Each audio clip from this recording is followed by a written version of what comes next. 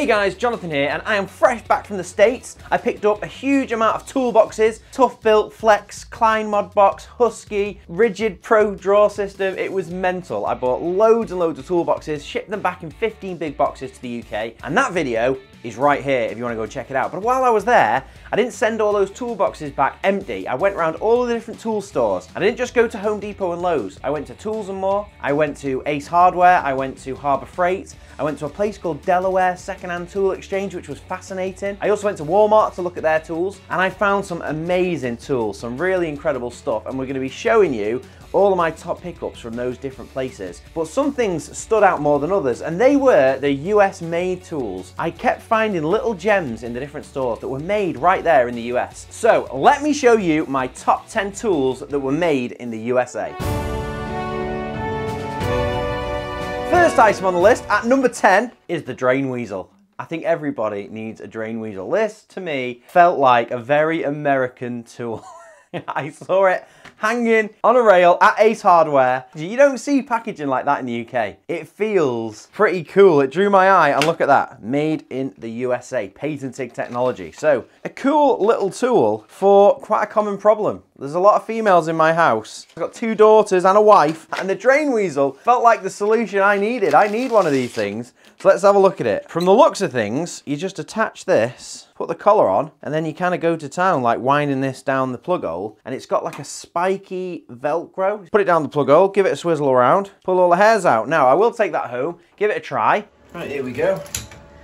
Here's a drain. It is pretty clean to be fair, but we'll give it a bit of a weaseling. Get the old weaselly end down there. And obviously it's going straight down into a chap really, but get the old 360 spin going. Gonna do any bits for us? Oh, hello. Flipping magic car, Morris. That's what it's like having three girls. that is number 10. Let me show you number nine. So in number nine, we've got the Gator Grip, another piece of classic American packaging. You've got this big American made flag, which I love. It's called the Gator Grip. Now, I've seen these before and I've actually got one, or, well, I don't know where I've got, I think I've lost it, but I did buy one from Wish. Universal socket, one size fits all. The difference is, I think this must be a good one because it's made in America and it's got something about it in the packaging. You can see the little kind of pins are all dimpled. So I'm assuming that this thing's been made to a higher standard and a higher quality. So uh, let me cut it open and we'll have a look at it. Let's have a look, Alfred. Right, so there we go. We've got the socket out of the packet. Now it says 7mm up to 19, but the thing that I love these for is eyelets and like weird little fixings. If you're trying to put in like a hook and loop or something like that, they're really, really handy. It feels nice to be fair, I like it. Obviously it's nice chrome and it says on it Gator Grip by Endeavour USA. I wonder if these were the original guys and then all of the different ones online are all cheap copies. Ah, here we go. So I've got the main important line. Be assured this universal socket marked Gator Grip by Endeavour USA is the original design manufactured in the USA since 1997. Love it. That is exactly what I was looking for. I didn't read that in the shop, but you could tell it had, I mean, obviously I must have noticed subliminally the, uh, the original written on the top there, but we see these and they've made their way over to the UK and you can get definitely knockoff versions, but now I've got an original and it is number nine on our US made list. Next on the list is Empire Levels. Now, these aren't fully made in the US, but the most important part is, and that is the True Blue level, or the bubbles. So if you've ever been sent to the shop for bubbles for spirit levels, you might have ended up with some True Blue Empire US made bubbles for spirit levels. They've got this little bit of a novelty, which I quite like. As soon as I saw this in the shop, I thought, boom, that is a bit of me. That is a novel, cool tool. Not seen that before in the UK, and it is just a quality, nicely made level. And I've not seen this brand Empire before in the UK, but I did look it up, and it is quite a big brand in the States. Empire. So this one is just like your traditional torpedo level, but it does feel quality. This one, though, is like your full milled aluminium body level. There's no lights in this one, but it is a thing of beauty. It's got these tried and trusted true blue bubbles, but you've also got the different angles too. So you've got your typical 90 degree, 45 degree, just a lovely little thing. And then this one is called Vari Pitch. Basically, you've got markings on the top there that show it's like an eighth of an inch or a quarter of an inch, three eighths of an inch, half an inch out of level. And that would be for, you know, if you're putting in decking or you're putting in a gutter, something that has to be on a slight incline for the water to run off. Sometimes you want to make sure that it's perfectly out of level all the way across evenly. So for me, I'm usually just thinking, well, you know, it's a mill to the left and then you do everything. So I've never actually had a level that has that Vari Pitch on it. So that's a cool little thing. I like that and I like both of them. So not fully made in the US, but very interesting. Bubbles are made in the US. So that is number eight on our list, the Empire Levels. So in number seven is an item from Craftsman. Now, I looked at all the Craftsman stuff in Lowe's and there is a huge range, all quality stuff that people highly rate. Obviously, it was my first time looking at tools and certainly Craftsman tools in the States and I couldn't find anything US made. Now, I might have been wrong because I went to a couple of different Lowe's and they seem to have slightly different stuff. So I never saw any US made flags, but I may have missed something. So let me know in the comments if you think I've missed a Craftsman US made tool that is being made and sold right now. But I did find this. Classic Craftsman Professional. You can just about see, made in the US. This is their auto locking pliers. The Craftsman 45307. This came from the Delaware Secondhand Tool Exchange and it was a fantastic place. If you're ever in Delaware, in Newark, which is where I was, head over to the Delaware Secondhand Tool Exchange because the guys there were super. They were super, I mean everyone in America I, I met was lovely, but uh, the guys at the Delaware Secondhand Tool Exchange, they were selling tools on behalf of basically people that have got family members that have died and their tools, you know,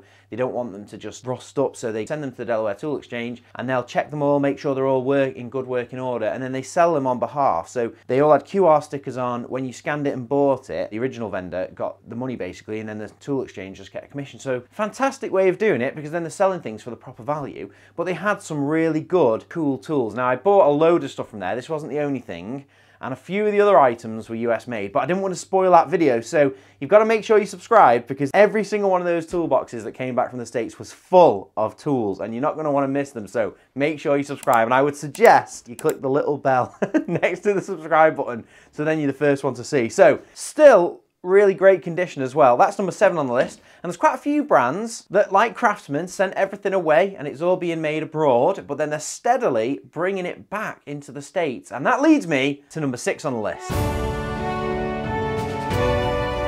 Which is some Milwaukee made tools. Now, the screwdrivers were quite hard to find. This is a new product from Milwaukee, made in the US. Screwdrivers. Now these are a real step up from the classic Milwaukee screwdrivers that we have in the UK, and you do see them everywhere in the States as well. These are a nice, thick, kind of like dual material grip and they've got like a knurled uh, screwdriver shaft as well. They look great in the packet, so we'll get them out and have a look at them, but we'll do that in a second because we've also got one of their speed squares, which are commonly available in the UK, and these also are USA made. So most of the stuff from Milwaukee is still made in Asia, different countries in Asia, but there's a few items, this and this, and I do think there's maybe a couple others as well. Let me know in the comments if you've got any other US made Milwaukee tools, but they are looking to bring some of it back and have some of it made in the States. So Fascinating to see. Fascinating.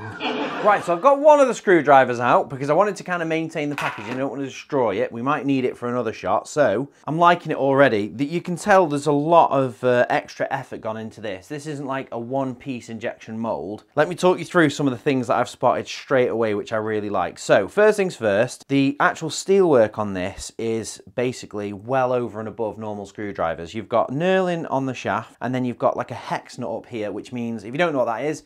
You can put it in the screw, you can put a spanner on it and get more torque, which is great as well. They've also kind of put some knurling on the teeth of the head to get more purchase on screws to stop them slipping. So that alone, it's loads of extra effort, loads of extra detail, and then the handle is fascinating because 9 out of 10 screwdrivers are either one piece, well let's say 8 out of 10 screwdrivers are just one piece injection molded, and then a couple of them are like a, a dual material, which is what I thought this was. But actually, this is three materials. You've got like a soft rubber, then a hard plastic, and then this is kind of like your classic translucent material, which I kind of love. You know, Klein have got some uh, really cool, and I think Craftsman used to have translucent, I don't know if it's Bakelite or it's like used to be anyway Bakelite, and then it was probably just some sort of plastic. But you've got that as kind of like the core with the plastic and the rubber around the outside. You've also got like a really cool marking on the end, which just makes it easier to spot which one you need. Just a nice thing, and it's got USA on it as well. Got USA front and back to show you it's a US made one, and that is just a legend. I mean, you can see there's the equivalent normal Milwaukee screwdriver, which It is two-piece material. You've got red, and, and these are the better ones actually. There are a, another step down from these that Milwaukee make, which are just all red screwdriver handles. So this is like a dual material, rubber and red, and you have got marking on the end, but it doesn't say the size of the Phillips head. And uh, this has got like a hex shaft, but you can just see this one here is just another level, and it's precision tip. And on top of that, these ones are lifetime warranty. So very interesting. Really cool. I was pleased to get a set of those because the first couple of shops had them all sold out. And uh, the last shop I went in, they had one set of these left. So I was very pleased to get them. That is number 10876 on the list. Let's check out number five. So, number five on the list is my only Snap-on tool. Now, Snap-on tools are famously made in the US. They're probably one of the biggest US brands. So I had to have them on the list. This is the only tool I've had. I've had it a very long time. I don't know why I bought it. It was just to scratch the itch, I guess. It's a ratchet screwdriver. I really like it. It's part of my uh, my own personal tool set. And I don't think I'll buy any more Snap-on because uh, although I do like this item, I don't really buy into all the hype and the huge cost of it all. I think there are lots of really good equivalent brands. But one of my favorite how it's made episodes is the Snap-on Wrench Factory, which is in America. And it is fascinating to see how they're all made, how they're made to such a good high quality. And this is no exception. This is a really good quality item. I really love it and it's nice to have one piece of snap-on. Like I say, this is the 95th anniversary version of their ratchet and screwdriver. They make this in all different colours. And actually, as a bit of a teaser, I think I may have to buy a little bit more snap-on because we're trying to put together the ultimate pink toolkit to auction for breast cancer awareness. Now, pink tools are hard to find and most pink tools that are available on the market are very pants. To put it mildly, pink tools traditionally are very, very cheap and nasty. So we're trying to put together a really good pink toolkit and there's only a few items that exist that are pink. Now, I've got a few already, but I do believe I'm gonna end up with some snap-on because a lot of the items, no one else makes them. But to see that, you've got to subscribe. So loads of good stuff to come. Make sure you click the subscribe. Number five is snap-on. Let's look at number four. So, fourth on the list is something I've had for a long time as well. These are Bondhus Allen keys. Now, there's two big Allen key manufacturers in the States, Bondhus and Eklind. Now, I've never owned any Eklind, but when I was at Tools and More in Delaware, I picked up a set of these and I got a set of T-handles as well for that video. So that'll be coming in the future. So we can have a look at the Eklind ones, which are made in the US. And I already had a really high opinion of the Bondhus. Now these are like really heavy T-handles and I love them because they're like a bit of a flywheel. They're great to get started, to just crack, well usually to be fair you'd crack a screw with one of these. You wouldn't risk a ball end on it because you will shear off. But to be fair these do take a bit, you can get a lot of purchase on these and I have, you know, probably shouldn't have done, but I have released certain cap heads with these. The thing I love about them is they've got like a flywheel effect. You spin it and it just goes. It's really nicely balanced, quite satisfying, really nicely made. The grips are cool. And you've got like yellow for Imperial, red for metric. This is how I've had them for years. I'll put in a little clip of me cutting this on the channel. And at the time, I matched it up with Wiha. Still don't know how you say some of these brands, but Wiha do uh, metric in red Allen key set, and they do Imperial in yellow. So it felt like they matched the color coding. And then the green, if you're interested, is Torx. And then that is Torx as well, but they're security Torx. So they have a little, uh, a little dot in the end of them. So that is my existing Allen key drawer, which uh, I'm quite proud of. I love it. I feel like getting all these lines done nice and square is not as easy as it may look. So I'm happy with that. Let's open these Eklind and have a look if these are comparable. It's a pity that the metric ones are blue and the Imperial are red because obviously that is going to mess up my colour coding. But I think what I'll end up doing is putting these in a separate toolkit. We need to split them up. I do think you can get Eklind in the RS catalogue. I'm pretty sure I've seen a few guys on site that use Eklind screwdrivers when I've been in different factories. But you can see they've got USA made on them. They feel pretty decent.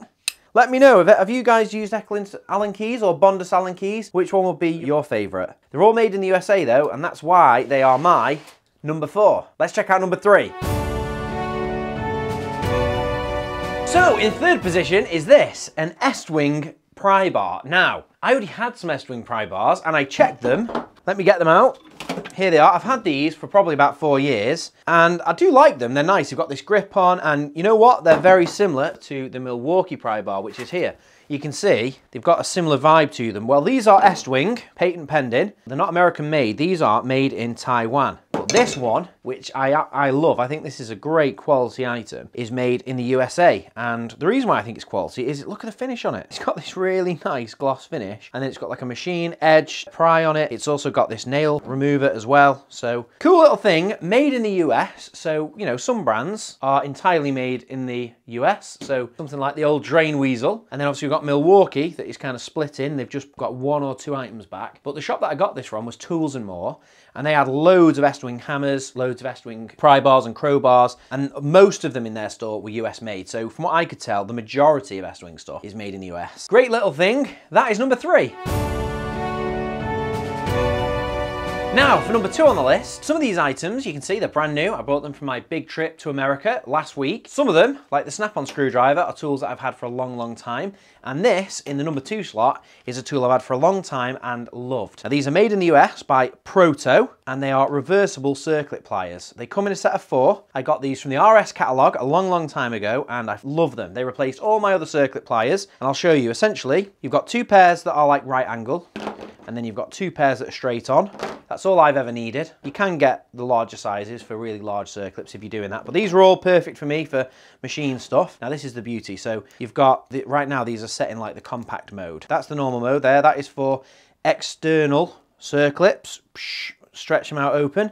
You've got an internal circlip, you just press that, flip it over, and now you've got for internal circlip. So one pair of circlip pliers is doing two sizes with fixed jaws. They're really strong I've never had any trouble with them and I like the fact that if you squeeze them together like this and then and then flip it over, it's neither internal or external at this point, it's just compact, takes up less room. So that is my number two US made tool by Proto. I think Proto is owned by Stanley Black & Decker, but they were their own brand and they're still made in the USA from what I can see online. So there you go, the Proto reversible circlip pliers made in the US take the second spot. Let's have a look at number one. So that all brings us to the number one spot. What is my favorite USA made tool that I've got or that I bought in the US last week? Well, I think this is a pretty good choice. This is Channel-Lock. I've never owned a pair of Channel-Locks, but I know of them, I see them. They're quite iconic with their blue handles. And these guys truly were the original. Made in the US, obviously. That's why they are our top pick. These things have been around since 1886. That's 138 years of legacy and heritage. These guys invented this style of grip. There's loads of versions of these now. Obviously, Knipex have loads of different Cobra types, but Channel-Locks were the original. They're regularly found in different toolboxes, and now I have a pair, or at least two pairs. So they're the classic, but they're not the thing that made it top pick for me. They are really, really exciting, but it is their US made circlip pliers, which I never thought I'd replace my Proto circlip pliers because I do love these. I've had them for a, a, good few years now and I've always rated them. But then while I was in America, I found these. Now these are the Channel-Lock circlip pliers. Well, you call them retaining rings over in the US. We call them circlips. So actually, I'm glad that it says that. For any US viewers, now you know what I'm on about. These things are also retaining ring pliers. We call them circlips. They're lifetime warranty. Both of them, all the Channel-Lock stuff's lifetime warranty. So what's special about these? Well, let me show you. I'm all about having a compact toolkit having as much versatility as possible without needing a full roll cab like this. The more tools and the more problems you can solve with a small toolkit, the more likely you're to have that toolkit on you. And that's why I like these, look. So one pair of pliers. This is external, the external circlip retaining ring mode. You flip it over, got a really nifty little mechanism. It like clicks into place. And now with one click, you've got it external and internal. And you might be wondering, well, what about the different tips? Well, you get five tips. You've got some bent ones, you've got long ones, you've got thin ones, narrow ones. You end up with five tips to go in this. And the little Allen key. So as long as you keep these two together, this one item, US made and a good quality, sturdy item, these are really chunky steel on the end, is replacing all four of those. And those replace some people have a, uh, have a circlip drawer, a full drawer full of all different sizes of circuit pliers. Before I had those, I had like internal and external sets. You had a minimum of like 8 to 10 circlip retaining ring pliers. I replaced all of that with those four and was really pleased about it. But now I can replace those four with this one.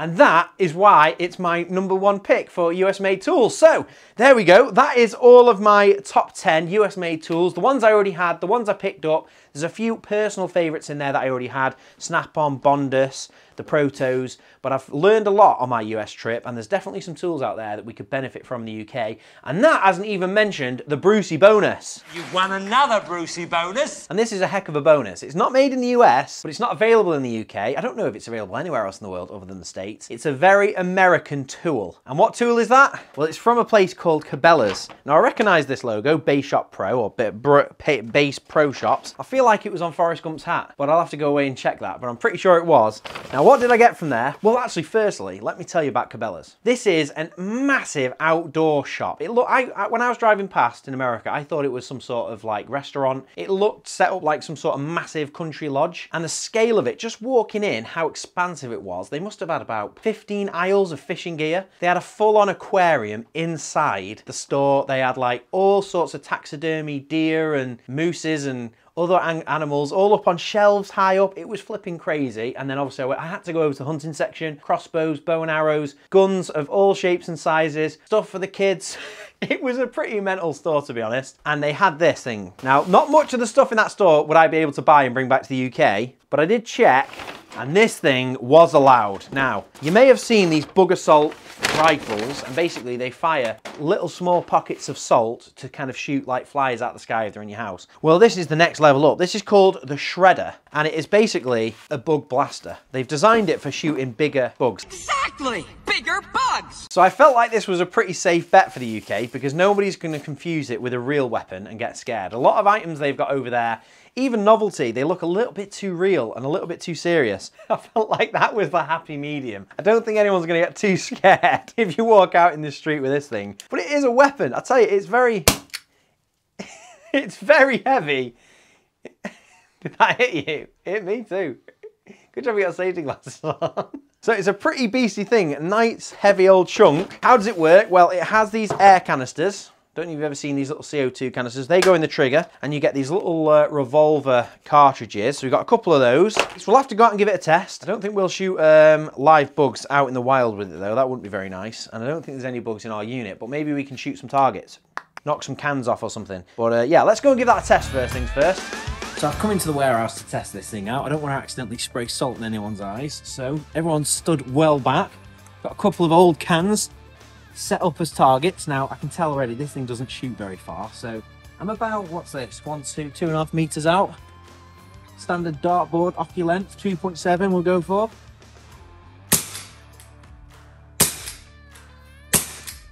I think I'll have to go a bit closer to try and knock these off. We'll go for about one and a half.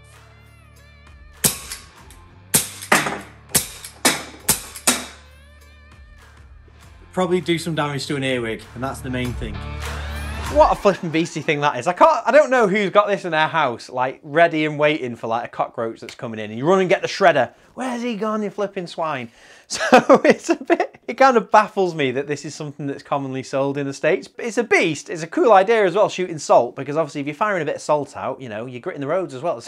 Everyone's a winner. My thought was I do a lot of camping and we've had a few campsites now where they seem to have like an earwig problem. So as soon as you're packing up the tent or sometimes in the tent around the ground sheet and stuff, you see an earwigs and I flipping hate earwigs. It's like one of the worst things. So uh, that could be handy for that. But what a quirky little pickup and a bit, hell of a Brucie bonus, that one. So put that there. Now, I've got to get this lot organised. I can't just leave it all sat here. And for that, we need a toolbox. So while I was in Ace Hardware, I picked up this beastie. This is a Milwaukee Packout Toolbox Standard. And you might notice it looks a little bit different, a little bit unusual. Well, that is because this is the US edition. And the US edition is red with black latches. And the UK edition is black with red latches.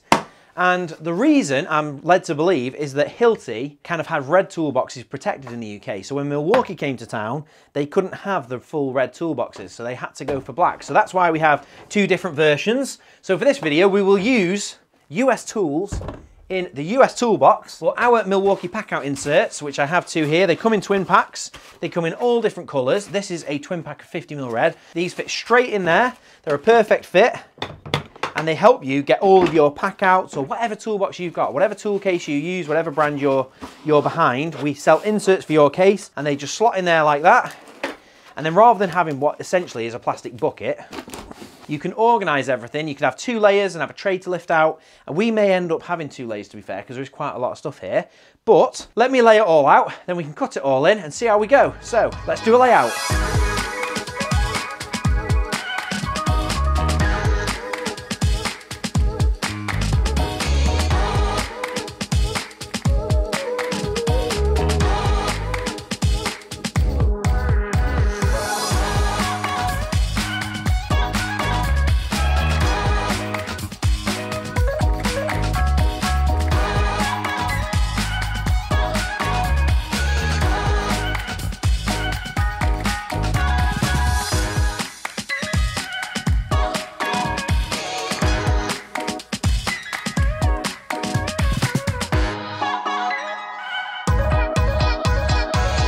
There we go. I've got a full-on layout going, so we're going to end up with two trays, a lift-out top tray, and uh, we'll probably put the shredder in the bottom. You always need a shredder in your toolkit. I think that's going to be my new rule. Wherever I go, I've got the salt shredder. Shoot out any earwigs that come creeping out of the, uh, the machinery. So... That's my new number one tool right there. So I've got to cut all this in, and when it comes to cutting shadow foam, it's a very, very simple process. All you need is anti-cut gloves and a scalpel. And all of those things come in one of our basic cutting packs. And these come free with most orders on the website at shadowfoam.com it's got everything in there that you're going to need to do exactly what I'm about to do now which is place the item on the foam where you want it to go. So let me start over here with these allen keys put a little bit of pressure on it so it doesn't move and then you literally use the scalpel with a sharp blade on it like a pencil and you just cut around the item and you're just capturing the silhouette on the foam. You're not cutting very deep, you're just basically just getting the outline. Once you've gone all the way around and you're sure that you've met back up at the start, you can then move the item out of the way and then you can go back and you can make that cut a lot deeper. Now for this item, it's about 15 mil deep, so we want to cut down past that. We want to go down about 20 mil. Once you've cut all the way around, you can then push your finger down the end and then peel back the foam, and you're basically just tucking your finger down the gap and kind of twisting the end of your finger or turning the end of your finger just to get a bit of purchase, a bit of leverage on the foam, and then you're just chasing that peel out all the way along, and you can see in one piece, boom, there it's out. Tool fits perfectly, and I'm going to do that exact same process for all of the other items, and then I'll come back to you. So, let's get cutting.